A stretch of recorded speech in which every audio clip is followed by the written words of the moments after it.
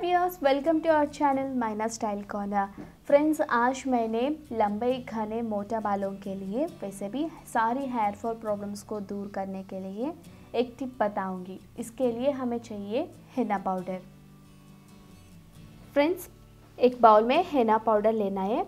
आप किसी भी ब्रांड का हेना पाउडर ले सकते वैसे भी आप नेचुरली घर पर भी हेना पाउडर बना सकते हैं।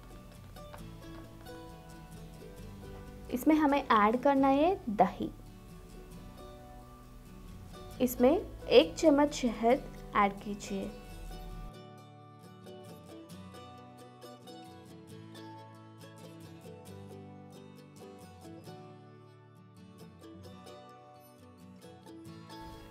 इसमें आधे काटे हुए नींबू का रस ऐड कीजिए।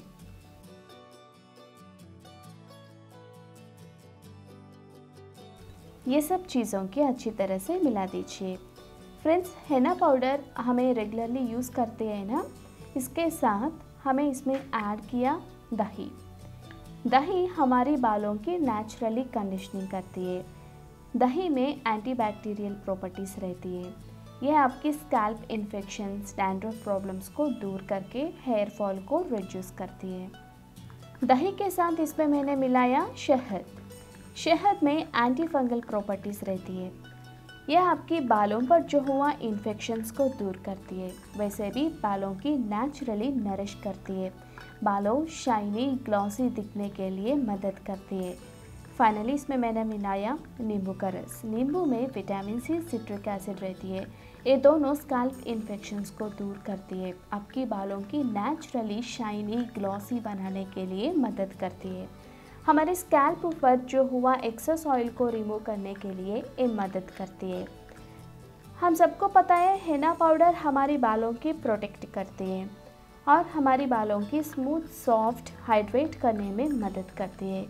ऐसा ये सब चीज़ों की अच्छी तरह से मिला के स्मूथ सॉफ्ट पेस्ट बना लेना चाहिए।